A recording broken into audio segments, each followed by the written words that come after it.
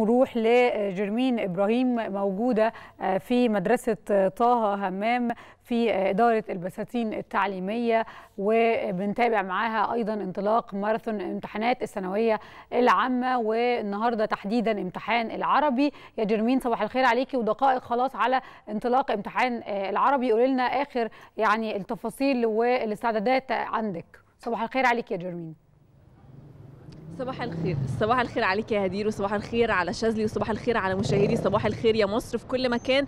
زي ما قلتي دقائق قليلة جدا بتفصلنا عن بداية امتحان اللغة العربية. أنا عايزة أقول كمان امتحانات الثانوية العامة بدأت من 20 يونيو بالمواد الغير أساسية أو الغير مضافة للمجموع زي التربية الدينية والتربية الوطنية. لكن من النهارده بتبتدي امتحانات المواد المضافة للمجموع بامتحان اللغة العربية واللي هيبتدي الساعة 9 بالظبط لحد الساعة 12 الظهر.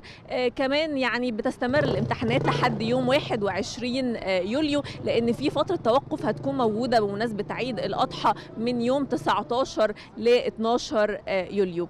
الحقيقة إنه يعني في على مستوى محافظات الجمهورية بيؤدي تقريبا 707 ألف طالب وطالبة الامتحانات في شعبتي العلمي والأدبي وده في 2089 لجنة امتحانات. منهم 105 ألف طالب وطالبة بيؤدي الامتحانات في المحافظة اللي إحنا متواجدين فيها دلوقتي وهي محافظة القاهرة وده في 297 لجنة. بعد قليل الحقيقة إحنا منتظرين وصول محافظ القاهرة. هيبدأ جولته هنا في مدرسة طه همام اللي موجودين قدامها علشان يتفقد سير الامتحانات والحقيقة أن محافظة القاهرة كان ليها استعدادات كبيرة جدا لامتحانات الثانوية العامة منها التأكيد طبعا على جاهزية كل اللجان بوسائل الإنارة والتهوية ووجود طفايات حريق داخل المدارس كمان وجود مراوح خصوصا مع ارتفاع درجات الحرارة علشان يبقى كل الأجواء مناسبة للطلاب لتأدية الامتحانات.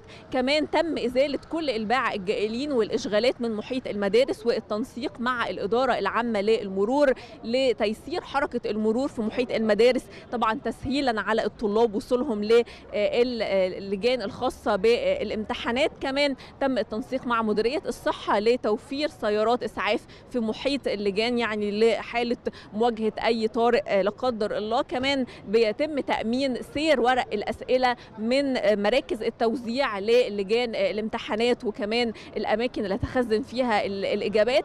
ففي جهود كبيرة بتتم في الوقت كمان اللي فيه مديرية التربيه وزارة التربية والتعليم بتوجه نصائح كتير جدا للطلاب مع بداية امتحان المواد الأساسية. منها التأكيد على كتابة الاسم ورقم الجلوس في المكان المخصص ليهم وكمان كتابة كود الاختبار اللي موجود أسفل كراسة الإجابة على على ورقة ال bubble sheet.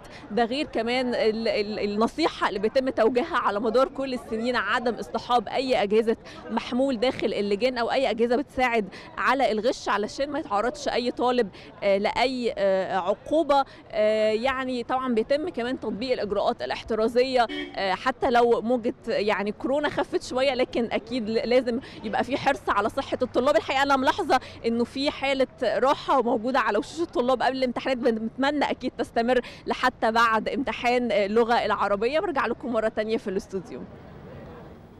جرمين إبراهيم بشكرك شكرا جزيلا. وان شاء الله نتمنى التوفيق لكل الطلبة النهارده في امتحان العربي. وإن شاء الله يعني زي ما انت قلتي يعني هم داخلين الامتحان مرتاحين نفسيا يخرجوا إن شاء الله مبسوطين ومرتاحين نفسيا. بنتمنى لهم جميعا التوفيق. شكلهم باين مبسوطين وهم نازلين من الأتوبيس. شفتيهم؟ هنبتدي بقى الامتحانات ويعني إن شاء الله إن شاء الله يخرجوا كده مبسوطين ومتفائلين ويكملوا الامتحانات بنفس الروح إن شاء الله كل التوفيق ليهم.